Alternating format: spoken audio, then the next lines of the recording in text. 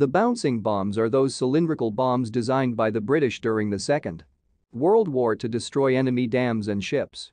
At the beginning of World War II, techniques would not allow the placing of a large bomb with the required accuracy.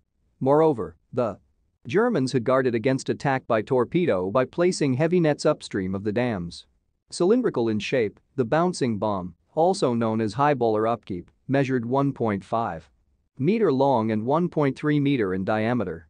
It contained three hydrostatic pistols, which measured the hydrostatic pressure of the water as the bomb sank until it was equal to the pressure corresponding to 10 meters depth. The bomb was also fitted with a 90-second time fuse so that if the hydrostatic mechanism failed, the bomb would still detonate. The bomb weighed a total 4,200 kilograms, 2,700 kilograms of this weight being explosive charge of TNT and RDX.